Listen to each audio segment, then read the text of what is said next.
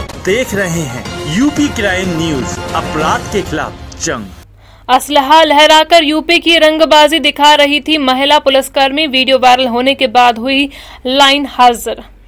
आगरा के MM gate थाने पर तैनात महिला आरक्षी प्रियंका मिश्रा का कमर पर असलहा लगाकर वीडियो सोशल मीडिया पर वायरल होने के बाद महिला आरक्षी प्रियंका मिश्रा को तत्काल प्रभाव से लाइन हाजिर कर दिया गया। बताते चले कि बीते दिनों सोशल मीडिया पर एक महिला आरक्षी का वीडियो बड़ी तेज़ी से वायरल हुआ था। आगरा के एमएम गेट थाने पर तैनात महिला आरक्षी प्रियंका मिश्रा ने कमर पर असलहा लगाकर एक वीडियो बनाने और उसे सोशल मीडिया पर पोस्ट किया था। वीडियो सोशल मीडिया पर वायरल होने के बाद एसएसपी आगरा मुनिराज ने घटना की जाँच सीओ कोतवाली को सौंपी थी।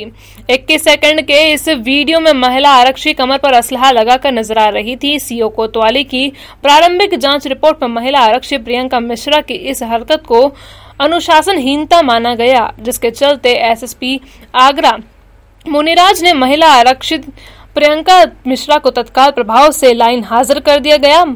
मज़ेदार बात यह है कि आज महिला आरक्षी प्रियंका मिश्रा का जन्मदिन है और यह कार्यवाही हो जाने के बाद प्रियंका ने अपने सोशल मीडिया अकाउंट पर जन्मदिन की बधाई देने वाले दोस्तों और फैंस को धन्यवाद देते हुए लिखा है कि आज मुझे अपने जन्मदिन का खास तोहफा मिल गया है। पिछले 24 घंटे के अंदर तक 12 पुलिसकर्मियों को लाइन हाजिर किया गया है, जिसमें 11 पुलिसकर्मी सिकंदरा थाना क्षेत्र के रुनकता इलाके में 11 लाख की लूट में लाइन हाजिर हुए तो वहीं एक महिला पुलिसकर्मी वीडियो बनाकर सोशल मीडिया पर पोस्ट करने पर अनुशासनहीनता पर लाइन हाजिर की गई। यूपी क्राइम न्यूज़ के लिए आगरा से विकेश चौधरी की रिपोर्ट। हरियाणा पंजाब तो बेकार ही बदनाम है। आओ कभी उत्तर प्रदेश।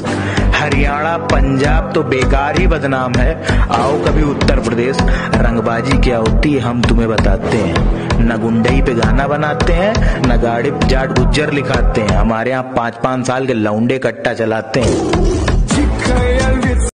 तो सर ये जो अ, महिला सिपाही है जिसका वीडियो वायरल हुआ उसको कुछ कार्रवाई की आपने क्या कार्रवाई की? उसका पुलिस रिपोर्ट लेकर तुरंत उसका जो संज्ञान लेकर तुरंत लाइन हाजिर करिए उसका अभी जाँच करवा रहा हूँ सीओ मैडम से जाँच कर रिपोर्ट लेकर उसका दोषी के आधार पर उनके डिपार्टमेंट इंक्वायरी करके उसकी कार्रवाई करेंगे।